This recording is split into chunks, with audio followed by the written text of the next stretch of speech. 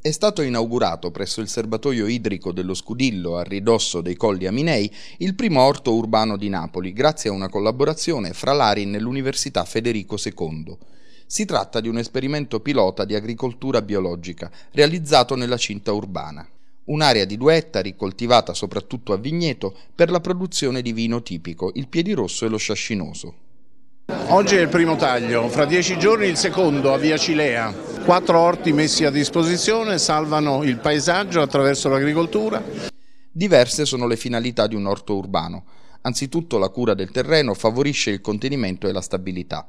La conduzione partecipata dell'orto assicura poi la tutela del paesaggio cittadino e crea opportunità di piccola economia nel sodalizio di persone che concorreranno alla gestione della terra e dei suoi prodotti. All'inaugurazione hanno preso parte l'assessore all'ambiente Sodano, l'assessore ai beni comuni Lucarelli, l'assessore alle partecipate Re Alfonso e il rettore della Federico II Massimo Marrelli. La nostra idea come amministrazione è di portare gli orti urbani, gli orti sociali in tutta la città, aree da recuperare come in questo caso che diventano un'opportunità anche di lavoro, di conoscenza dei prodotti, di prodotti biologici che possono dare anche una eh, fonte di reddito a, a chi le gestisce. Nei prossimi giorni un nuovo orto urbano sarà inaugurato a Via Cilea e fra qualche mese un terzo orto a Chiaiano.